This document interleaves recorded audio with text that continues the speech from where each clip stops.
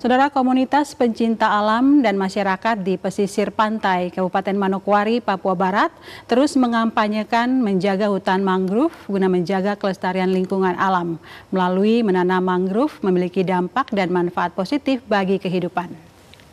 Hutan mangrove merupakan tumbuhan yang memiliki banyak manfaat, seperti menahan arus air laut, sehingga tidak mengikis tanah di garis pantai. Selain itu, fungsi mangrove juga memiliki manfaat sebagai penyerap gas karbon dioksida dan penghasil oksigen. Hutan mangrove memiliki peran sebagai tempat hidup yang sangat besar di Indonesia, yaitu seluas 482.029 hektar dari total luas hutan mangrove di Indonesia, yaitu 3,49 juta hektar. Khusus di Kabupaten Manokwari dengan perkembangan pembangunan yang terus dilakukan, beberapa kawasan yang dulunya banyak terdapat hutan 49 juta hektar. Khusus di Kabupaten Manokwari dengan perkembangan pembangunan yang terus dilakukan, beberapa kawasan yang dulunya banyak terdapat hutan mangrove kini luasnya semakin berkurang. Data komunitas pecinta alam dan kemanusiaan Papua Barat, hutan mangrove yang masih terjaga di kota Manokwari, yaitu berada pada distrik Manokwari Selatan. Untuk menjaga kelestarian hutan mangrove yang masih ada, komunitas pecinta alam dan kemanusiaan Papua Barat terus melakukan gerakan-gerakan penanaman mangrove.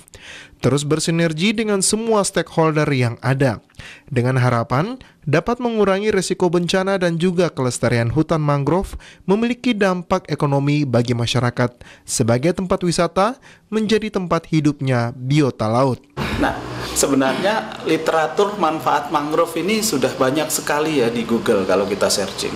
Kalau dari kami pribadi sebenarnya kenapa kami peduli untuk melestarikan mangrove itu dasar utamanya sebenarnya yang dari tadi apa konsep pengurangan resiko bencana.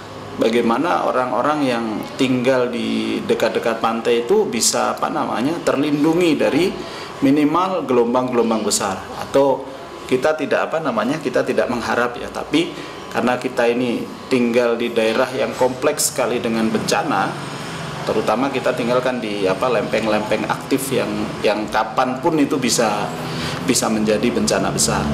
Nah, harapannya ketika bibir-bibir pantai kita itu terbentengi oleh mangrove yang terjaga itu bisa mengurangi dampak itu.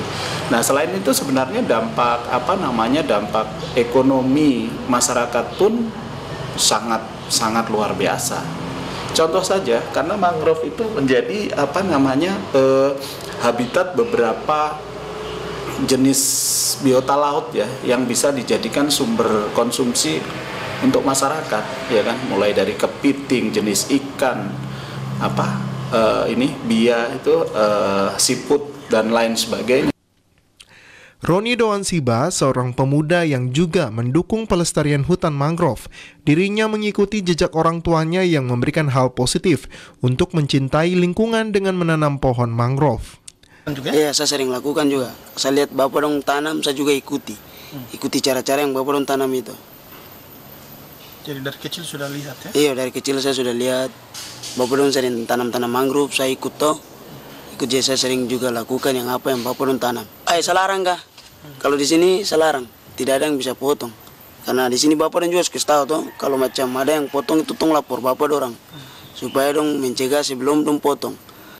Untuk terus menjaga hutan mangrove, komunitas pecinta alam dan kemanusiaan Papua Barat bersama pemerintah dan juga masyarakat terus mengkampanyekan menjaga hutan mangrove dengan menanam mangrove di sepanjang bibir pantai di Kabupaten Manokwari dan juga di Provinsi Papua Barat. Jimmy Tabisu TVRI Papua Barat melaporkan.